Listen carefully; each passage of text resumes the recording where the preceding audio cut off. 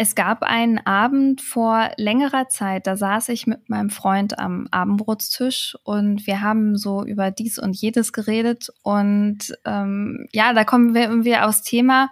Ach, ich hätte total Lust, mal einen Podcast zu machen. Fragt mich nicht wieso, aber irgendwie hatte ich so das Gefühl, ich glaube, das macht mir Spaß und es bringt mir auch richtig Freude. Und genau in dem gleichen Moment müssen andere Menschen auch an mich gedacht haben, denn ihr werdet lachen. Am nächsten Morgen war in meinem Postfach eine Nachricht von Time mit der Anfrage für einen Podcast. Und eigentlich gibt's solche Gleichzeitigkeiten ja nicht, aber anscheinend ja schon. Und wir haben im selben Moment das gleiche gedacht. Und das ist so ein bisschen die Hintergrundgeschichte zu diesem Podcast hier. Und genau das werden wir nämlich heute weitermachen. Wir nehmen euch heute hinter die Kulissen. Das ist mal eine etwas andere Folge, denn ihr durftet uns Fragen stellen, beziehungsweise mir, über das Studium, über mich und über alles, was euch so bewegt. Und diese Fragen wird mir heute eine Person stellen, eine Stimme, die ihr schon ziemlich gut kennt. Und diese Stimme sagt nämlich gerne immer Ruhepuls. Alles für ein entspanntes Studium. Da kommt immer noch so ein Popoch, Popoch, so ein Herzklopfen hinterher. Aber das kann ich nicht so gut nachmachen. Schade eigentlich. Aber es war schon nicht schlecht. Ja. Ähm, hallo zusammen, ich bin Johannes und, und darf heute nicht nur diesen Satz sagen, sondern eure Fragen vorstellen. Und ich kann das alles bestätigen, was Florentine gerade gesagt hat. Ich war damals auch in diesem ähm, Gespräch dabei, wo wir überlegt haben, wer moderiert das Ganze und dann fiel der Name Fleur Bardot. Ich gucke mir das an, da braucht man jemanden, der einen französischen Namen macht und dann, oh, oh, oh, da ist ja da steckt ja ganz schön viel drin in dem Instagram-Account. Ähm, und deshalb nehme ich mir jetzt auch gerade die Freiheit raus, Florentino, und stelle die erste Frage von mir persönlich. Oh. Weil ich frage mich immer wieder. mhm. Und wir reden sehr oft über den Inhalt, den du da hast zu Hause hier, weil Corona uns sehr beschäftigt. Warum hast du mit Instagram angefangen und warum Covid-19 als Thema? Instagram, also irgendwann mal hatte ich den Account gemacht aus Interesse und Neugier. Da ist aber noch nicht so viel passiert. Das war mehr so wie so ein anonymer Account, ohne Profilbild, ohne Beiträge, ohne alles. Und ich wollte einfach wissen, worüber reden die alle so, weil alle waren irgendwie auf Instagram und ich wollte einfach wissen, was ist das? Damit ich mitreden kann und zur Not sagen kann, nee, finde ich doof, mag ich nicht. So, und dann lief der Account so nebenher und dann kam die Pandemie und ich dachte mir so, hey, irgendwie die Informationen, die man so von den Nachrichten bekommt, das sind nicht die, die ich nachhaltig finde und die ich gut erklärt finde. Es fehlte mir immer irgendwas. Und dann dachte ich mir, ja gut, im Studium fehlt auch gerade einiges an Lehre. Das kompensiere ich und verbinde ich jetzt einfach mal und äh, nutze die Möglichkeit, dass ich Studien lese, die so übersetze, dass es auch ein interessierter Laie verstehen kann und ich damit vielleicht einen kleinen Beitrag dazu leisten kann, dass Leute sich wohler fühlen, dass sie wissen, woran sie sind, dass sie wissen, was auf sie zukommt und daraus hat sich das alles entwickelt. Das war niemals mit einer Intention, jemals einen Podcast zu machen, jemals irgendwie sonst irgendwas damit zu machen. Das war wirklich reines Interesse. Ich finde es auf jeden Fall mega. Also wir haben schon oft hier zu Hause über Schlagzeilen gesprochen und so Panik bekommen. Florentine sagt aber, dass BA5 bei uns lang nicht so. Punkt, Punkt, Punkt. Ähm, die nächste Frage, die ein bisschen dazu passt, die kommt von Tobi. Der hat eine Mail geschrieben und der hat gefragt, wie du alles unter einen Hut bekommst. Und das stimmt schon. Du machst dein Studium, du bist gerade im PJ, du machst Instagram, das macht man auch nicht nebenbei, du machst diesen Podcast und noch so vieles mehr. Gefühlt arbeitest du immer. Du antwortest gerne auch mal um 23.33 Uhr, wenn es um die Arbeit geht. Ähm, das ist wirklich so. Wie schaffst du das? Ich glaube, ich sehe das nicht als Last. Ganz großes, ganz großer Vorteil ist, wenn man etwas macht, was man gerne macht, dann ist es auch nicht Arbeit im Sinne von, ich muss das jetzt tun, sondern ich kann Arbeit und Freizeit nicht unbedingt so trennen. Das heißt nicht, dass ich keine Freizeit habe, aber ähm, ich mache das einfach unglaublich gerne und es ist für mich auch Entspannung irgendwo in, in gewisser Weise.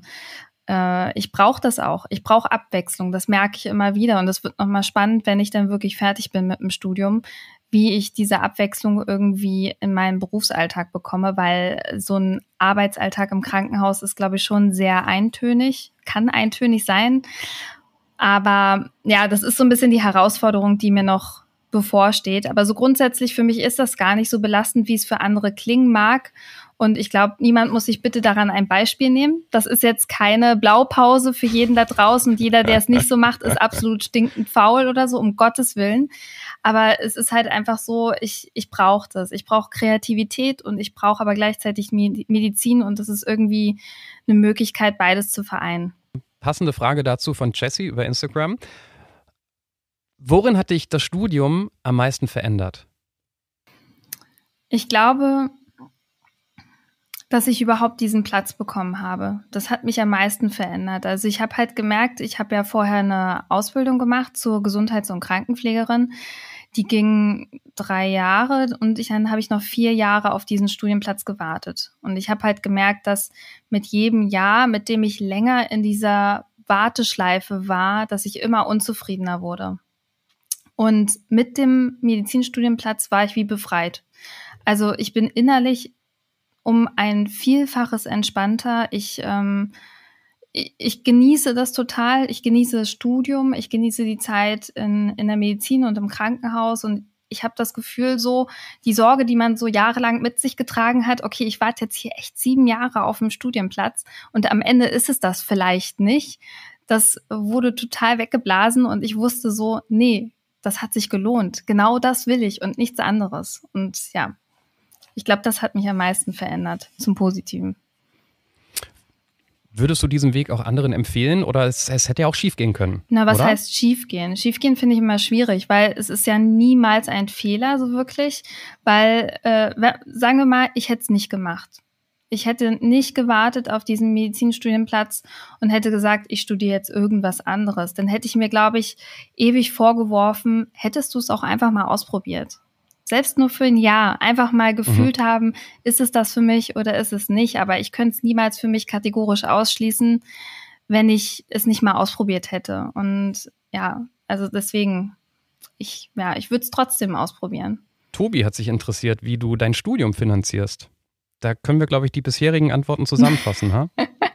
ja, so ein bisschen. Also ich habe ja die Ausbildung zur Gesundheits- und Krankenpflegerin gemacht. Das bietet einem natürlich immer die Möglichkeit, parallel zum Studium zu arbeiten als Nachtwache oder sonstiges. Das mache ich aber persönlich nicht, weil ich dachte, wenn ich schon für äh, Mindestlohn arbeiten gehe, dann will ich auch das Maximum an Lehre dafür bekommen. Und da ich halt schon weiß, wo ich hin möchte, also in die Chirurgie, dass ich mir irgendeinen Nebenjob suche, wo ich ähm, in, ja, nicht ärztlich, aber schon auf ärztlicher Seite nebenher Geld verdiene und ähm, ja, so auch noch gleichzeitig was lerne, was vielleicht irgendwie mir in der Uni zu kurz kommt.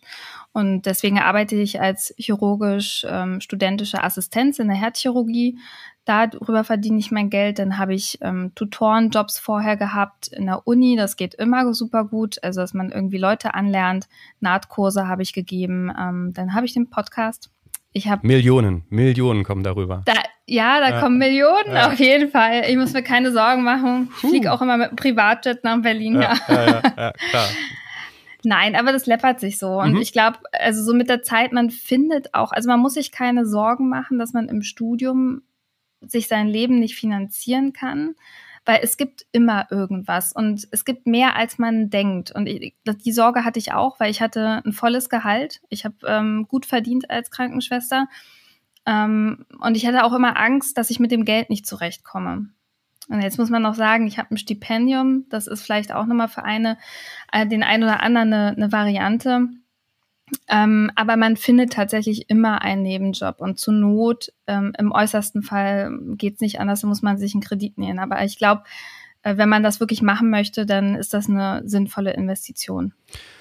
Reden wir über all die Fragen, die zum Studium reingekommen sind. Ähm, es gab eine Menge Fragen zu Prüfungen, wie du dich vorbereitest, wie du lernst, welche Lernstrategien du hast. Das würde ich ein bisschen ausklammern, weil da haben wir jetzt in, in dem Podcast hier auch schon eine Menge Folgen gerade in letzter Zeit gemacht, ähm, die man wirklich nur empfehlen kann.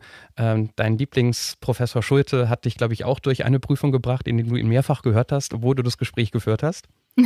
ja, also äh, wir haben das, glaube ich, vor dem M2 aufgenommen mhm. und ja, es war gar nicht so unbedingt die Lernstrategie, die er gesagt hat, sondern mehr so, was er gesagt hat zum Mindset. Also wie man sich so verhält in dieser Phase, dass man den Kopf nicht hängen lassen soll, dass man dass man das schon schafft. Das haben so viele vor einem geschafft. Und das sind meistens die gleichen Phrasen, die wahrscheinlich eine andere Person fast eins zu eins sowieso schon mal einem gesagt hat.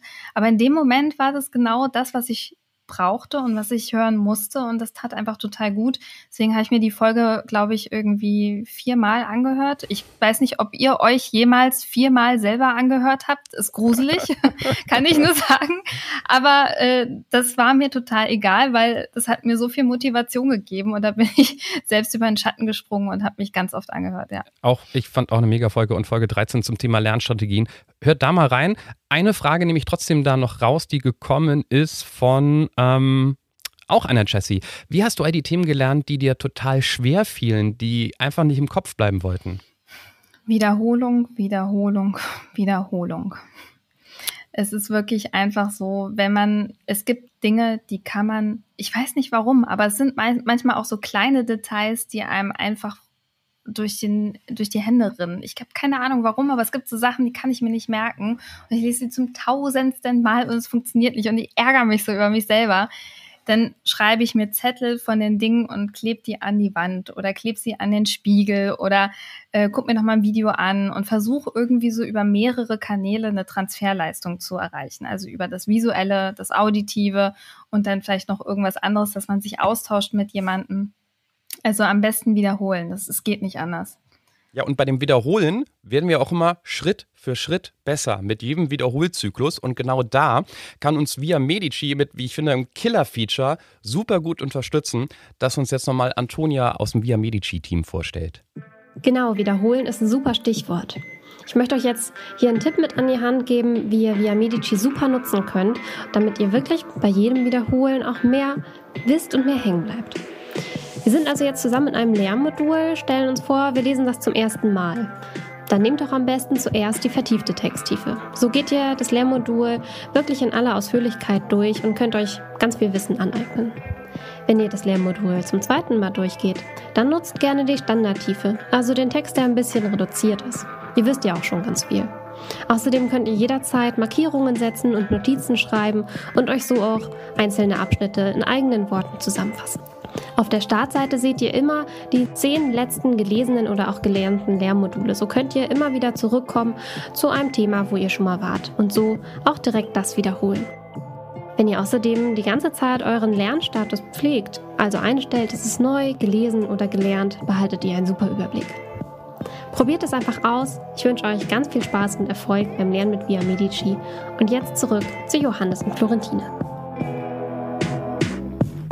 Anni hat eine Frage zum ersten Staatsexamen. Ähm, ne, hat, ist keine Frage. Sie meint einfach nur Physikumstipps. Punkt, Punkt, Punkt.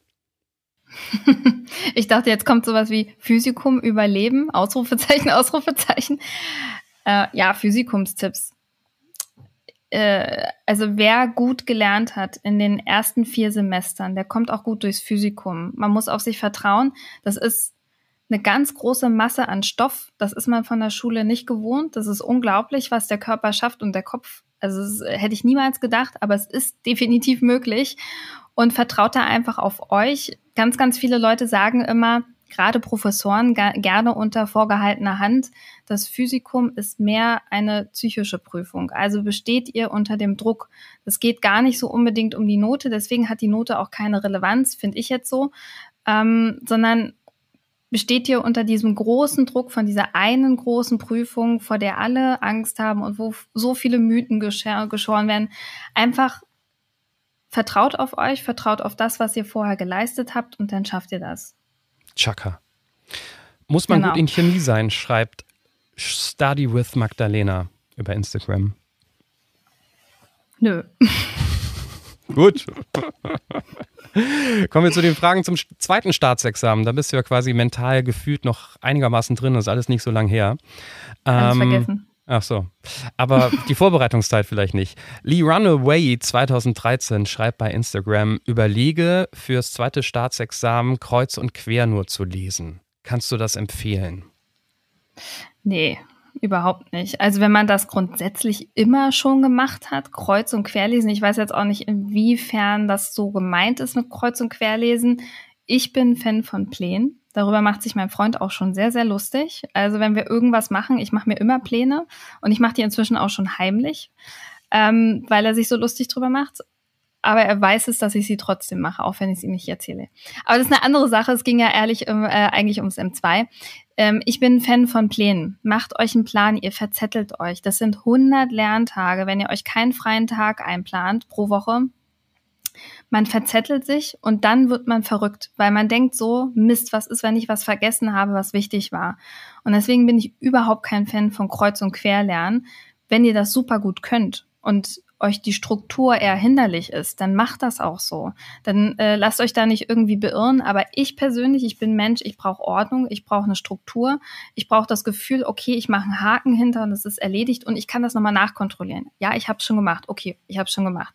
Und dann kann ich mich nämlich auf die Sachen fokussieren, die wirklich wichtig sind, nämlich die Inhalte. Okay. Wir haben ausführlich auch darüber gesprochen, oder du zusammen mit Roxy in der Folge, die am 28. Juni rauskam. Also gerne da auch nochmal reinhören. Ähm, da sagen die zwei auch, warum sie auf Lücke lernen eben gar nicht gut finden. Melly hat geschrieben, dass sie das Gefühl hat, dass sie sich total schlecht auf das M2 vorbereitet fühlt. Zweimal Gefühl, ihr wisst, was ich meine, durch Corona, weil ihr die Basis fehlt. Ist das etwas, was du nachvollziehen kannst? Absolut. Das gleiche Gefühl hatte ich auch. Also ich dachte so, ja toll, was haben wir groß bekommen an Lehre? Das gab es vorher noch nie. Aber das ist immer so ein bisschen die Panik, die man sich selber macht. Man sucht sich irgendeinen Strohhalm, warum es jetzt besonders schlimm bei einem selber ist oder nicht nur bei einem selber, sondern beim ganzen Semester.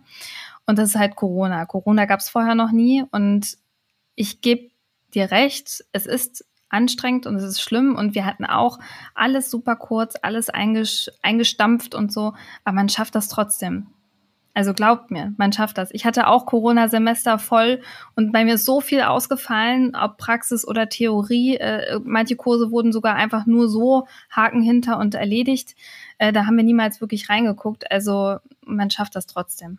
Eine süße Frage noch zum Lernen. Ähm, gar nicht mal von jemandem, der gerade lernt, sondern von einem Freund, ähm, der sieht, wie seine Freundin gerade total untergeht im Stress äh, und er helfen möchte. Wie kann er am besten seiner Freundin behilflich sein, während sie im Lernstress ist? Und die zweite wichtige Frage von ihm, wird das mit dem Stress mal besser?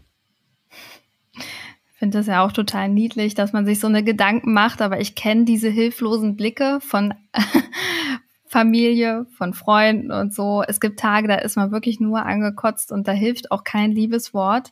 Ich kann nur sagen, es hört auf, es wird besser, steht es gemeinsam durch und habt ein offenes Ohr. Also was total hilft, ist, wenn so Banalitäten abgenommen werden, wie Kochen, Küche, aufräumen oder ähm, Wäsche machen, ähm, irgendwas Schönes einkaufen. Also irgendwas, was dem anderen so den Rücken frei hält und er weiß, okay, ich kann mich darauf konzentrieren. Und vielleicht auch in einem Moment mal nachfragen, du, wenn du möchtest, gehen wir heute Abend noch mal zehn Minuten spazieren und du erzählst mir irgendwas oder ich erzähle dir mal was über meinen Tag, was gar nichts mit Lernen mhm. zu tun mhm. hat.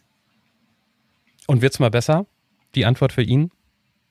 Es wird besser jeder braucht seine Zeit. Das habe ich, glaube ich, auch schon in tausenden Podcast-Folgen gesagt, weil mir das auch so wichtig ist. Und zwar wirklich auch so eine Erkenntnis, es wird besser, jeder hat aber eine andere Zeit. Also der eine braucht dafür zwei Semester, der andere sechs, der andere fünf oder vier. Auf jeden Fall ist es meistens so, dass es nach dem Physikum entspannter wird, weil man selber entspannter wird. Lernen muss man immer viel im Medizinstudium. Dieses Gerücht, dass es weniger wird, ist, glaube ich, ein bisschen mehr ein Gerücht als alles andere. Aber man wird selber ruhiger und ähm, selbstbewusster, weil man weiß, man hat schon mal einen großen Step geschafft und ja, dann schafft man den Rest auch. The Next Doc schreibt auf Instagram, er würde gerne wissen, welche Doktorarbeit du angehst. Aber wenn er dir bei Instagram folgt, müsste er eigentlich raten können. Ja, äh, ich schreibe meine Doktorarbeit in der molekularen Kardiologie am DZHK noch an meiner alten Uni in Greifswald. Es ist eine experimentelle Doktorarbeit. Ähm, es ist sehr, sehr viel Arbeit, mehr Arbeit, als ich jemals gedacht hätte. Und ich dachte so, hey, komm, du investierst auf jeden Fall ganz viel Zeit rein und dann ähm, bist du nicht so wie alle anderen, die immer sagen so, ah, das dauert alles so ewig und so. Und ich dachte, ich bin so strukturiert und ich schaffe das ganz schnell. Und dann äh, holt einem die Realität ein. Und jetzt bin ich im elften Semester und bin immer noch nicht fertig mit der Datenauswertung. Also sucht euch irgendwas, wo ihr wirklich gut durchkommt, das gut strukturiert ist. Es hängt extrem viel von der Betreuung ab. Mein Betreuer ist mir weggebrochen, der ist, hat die Stadt verlassen und äh, dann komplett äh, alles liegen gelassen und ja, damit muss man halt durch. Aber es ist manchmal auch gut zu wissen, es geht allen so. Mhm. Reden wir auch ausführlich in Folge 9 drüber mit Frau Weiß. Nicht jeder braucht eine Doktorarbeit.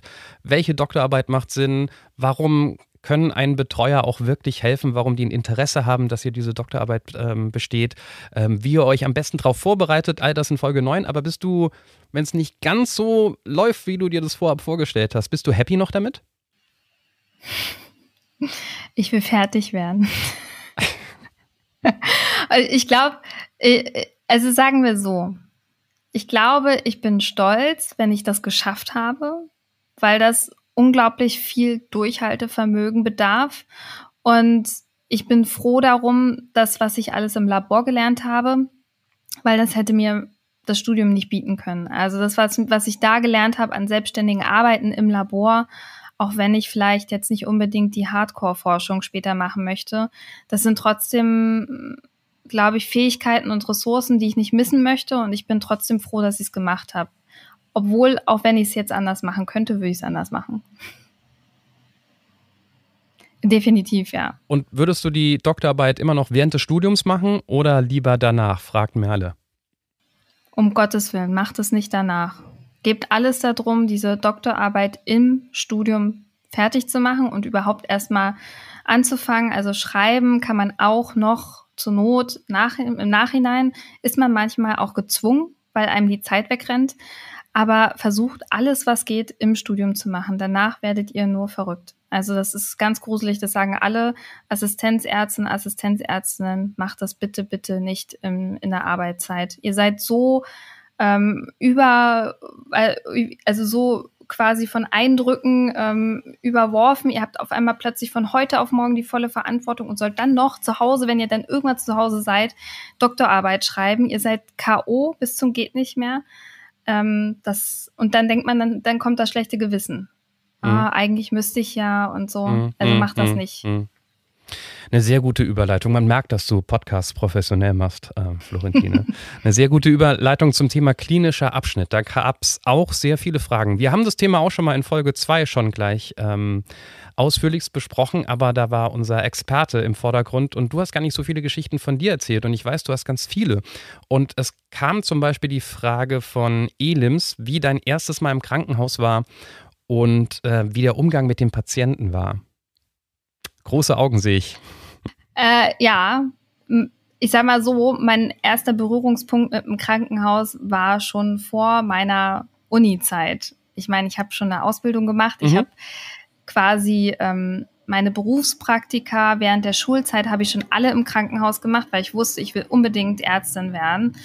Äh, ich habe die auch immer im OP gemacht. Also ich war eigentlich, irgendwann meinten die Leute, ja, geh in OP und ähm, irgendwie wussten die immer, ich gehöre dahin. Frag mich nicht wieso. Und ja, also es war, glaube ich, in der neunten Klasse zum Berufspraktikum in einem orthopädischen Krankenhaus, Privatklinik. Und wie war das? geil. nee, war total cool. Da habe ich mal das erste Mal so eine Hüft-Tab gesehen. Und ich war so fasziniert davon, dass dieser Hüftkopf quasi wie so ein Tennisball aussieht. Also wirklich ganz glatt und rund und auch von der Größe her so ungefähr wie so ein Tennisball. Und ich, also es hat mich so fast. Und danach sind wir irgendwie in Aufenthaltsraum und haben gemeinsam Frühstück gegessen. Irgendwie wurde da immer Brötchen geschmiert fürs ganze Team. Das fand ich total süß und ich fand es irgendwie toll. Und ich glaube, das Erste, was die eine Anästhesistin damals zu mir gesagt hat, du hast Hunger?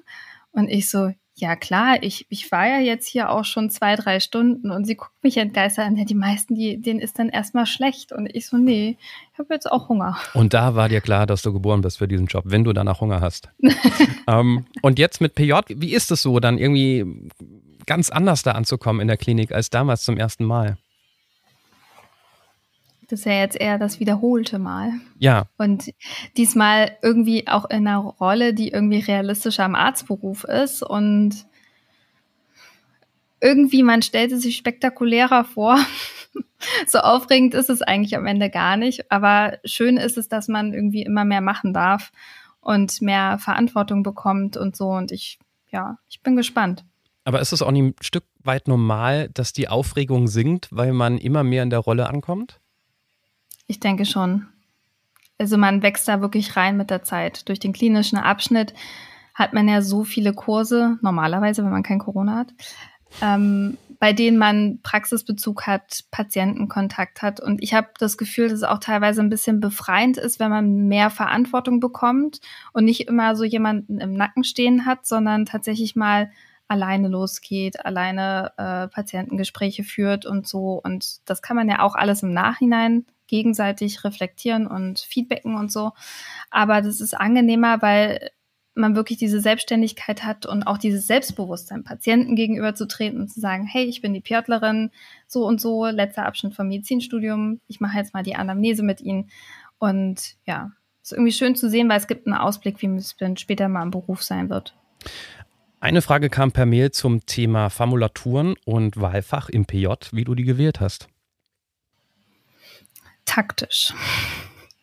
Wie immer. Also, ja, wie immer.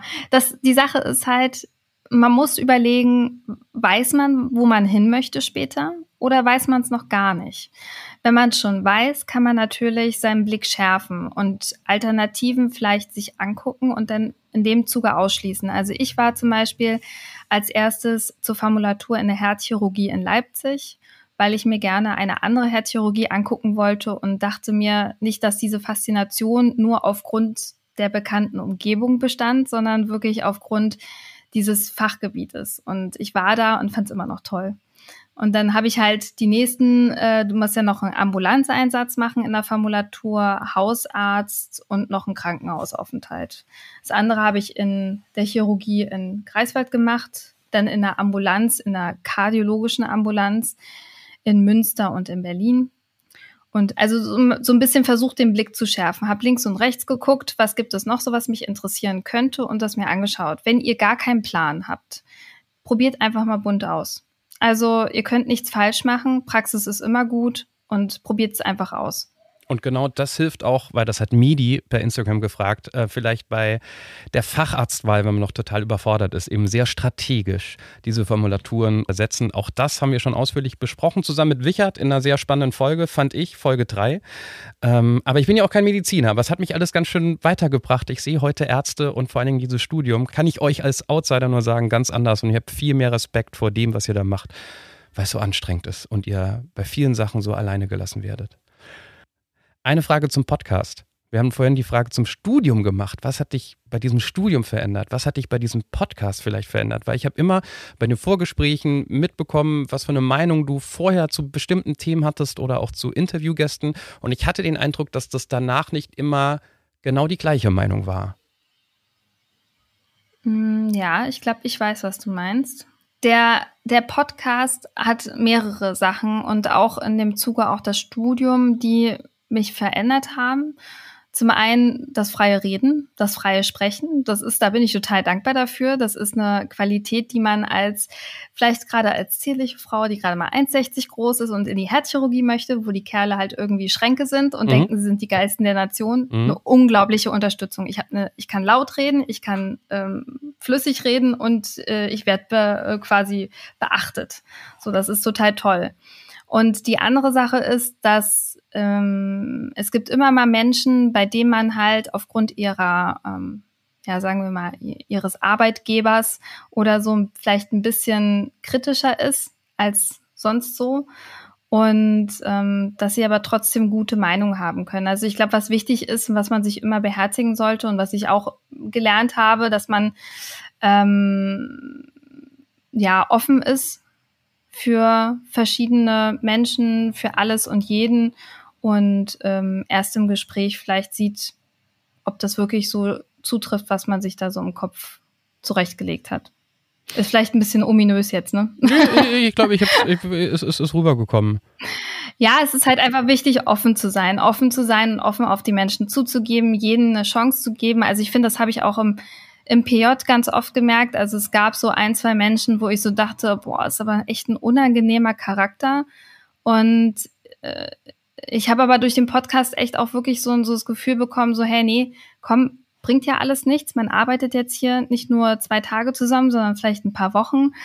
und ähm, wirklich immer nett und höflich und neutral und so. Und ich muss sagen, dass sich auch so eine Stimmung lockert und äh, sich daraus sogar irgendwie eine nette Kollegenschaft entwickelt. Und das finde ich irgendwie ganz positiv. Also, dass man nicht von vornherein dieses verhärmte, ah nee, irgendwie, den finde ich komisch und dann ist das so abgestempelt und fertig, sondern offen zu sein und ja, vielleicht seine Meinung nochmal zu ändern. Ich sehe ja auch immer das ganze Feedback, das reinkommt zum Podcast. Ich habe jetzt die Fragen für diese Folge gesehen. Von daher weiß ich, dass es auch eine Menge Menschen gibt, die sehr froh sind um diesen Podcast die auch sehr froh darüber sind, wie ehrlich hier über die ganzen Themen gesprochen wird. Und als jemand vom Team hinter dem Podcast kann ich sagen, ich bin super froh, dass Florentine dabei ist, weil du, du machst das großartig mit all der Energie, mit deinen Fragen, mit deinen Erfahrungen. Das finde ich toll. Danke dafür. Ähm, und in der nächsten Folge darfst du dann wieder die Fragen stellen. Vielen Dank für die ehrlichen Antworten. Danke dir. Das war Ruhepuls euer Podcast für ein entspannteres Medizinstudium von Via Medici, dem Lern- und Kreuzportal für nachhaltiges Wissen in der Medizin von Thieme.